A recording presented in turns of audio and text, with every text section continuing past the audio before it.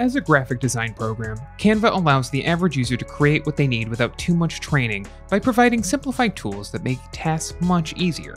If you've been using Canva, you might be wondering how you can remove the background from your photo or file. True to its nature, doing this in Canva is pretty straightforward. Here's what you need to know.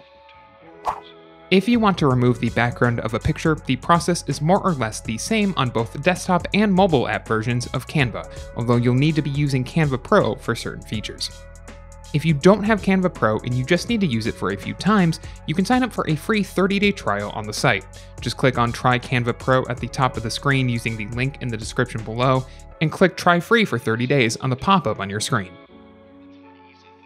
With your file open in Canva Pro, click on the photo you want to edit on your file, then click on Effects at the top left of the editing window.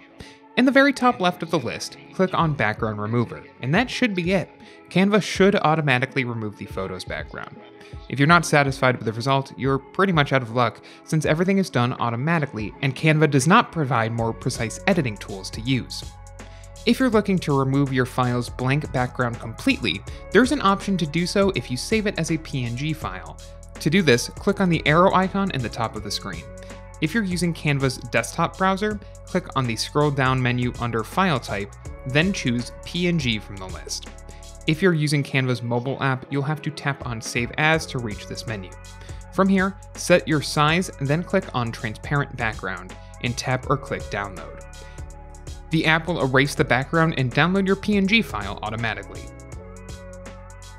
If you like this guide, make sure you subscribe for all sorts of videos covering Canva and other technology.